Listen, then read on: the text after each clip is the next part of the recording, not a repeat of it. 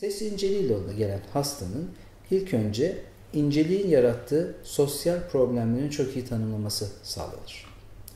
Kişi aile ortamında, iş ortamında, okul ortamında ve kendi psikolojik olarak neler hissettiği ayrıntılı olarak değerlendirmelidir. Sesi ince olan kişi genellikle özgüven problemini çok sık yaşar. İnce olması nedeniyle sosyal ortamlara girmekten kaçınır. Dolayısıyla sosyalleşme problemi çok ciddidir. Kişi sosyalleştirirse de karşısındakinden aldığı imajlar, karşısındakinden aldığı tepkiler de ona göre gelişir ve kendisini bu konuda yetersiz hissedebilir.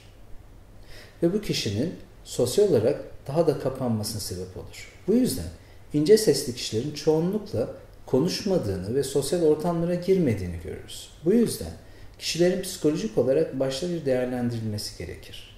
Bu kişiyi ne kadar kısıtlıyor ve kişi bundan nasıl etkilenmiş? Yaş ilerledikçe bu çok ciddi bir sorun olarak karşımıza çıkar.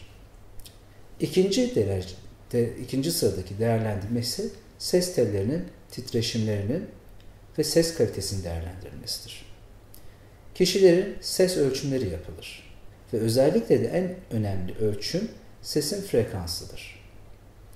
Eğer sesin frekansı bir erkekte 150 Hz'in üzerindeyse, bir kadında da 240-250 Hz'in üzerindeyse ses ince kabul edilir. Dolayısıyla ses teli incelemesine geçilir.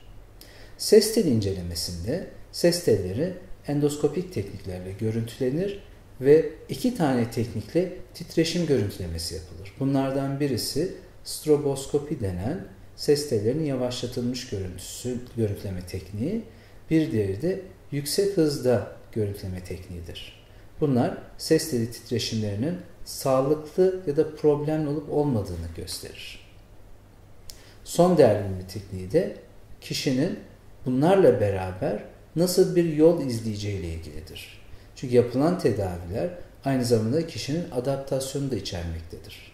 Ve kişinin yeni ses tonu adaptasyonu sağlayacak her türlü ayrıntılı incelemede beraberinde eklenir. Eğer bir kulak problemi varsa ya da algısal bir problem varsa bu da değerlendirilir. Dolayısıyla dört aşamalı bir incelemeden geçer.